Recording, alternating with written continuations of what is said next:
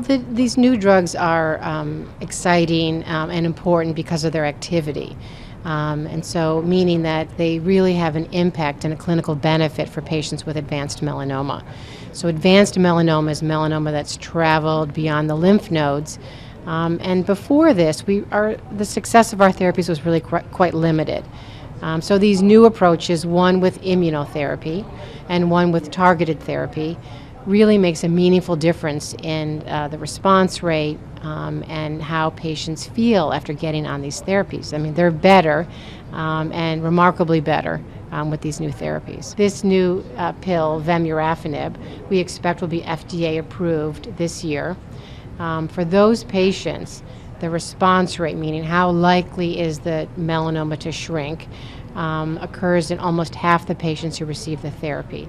And this really is unprecedented activity. So, patients who are on pain medicine, short of breath, on oxygen, within 72 hours can be better. Now, this is a huge advancement, um, but still, melanoma patients who have the BRAF mutation over time, their cancer cells become resistant to the therapy and the cancer cells do outsmart us and develop ways to, to go beyond where we put the brakes on. I do test every patient who has advanced melanoma to t- determine if their tumor has a mutated BRAF gene. So we collect the tumor blocks and we have the capacity to do the testing, but there will be a test developed. But I will test every patient with advanced melanoma to see if they have a mutated BRAF gene.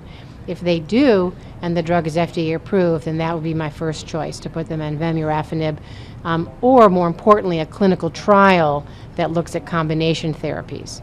Um, so my preference would be if there's a mutation to start with the targeted approach.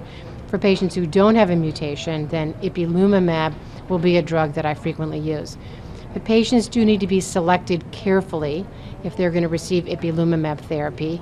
Overall, this is a well tolerated therapy that's given intravenously, but there can be serious side effects. And so I think patient selection is going to be important, and we need to educate patients and oncologists about the unique side effects associated with the therapy.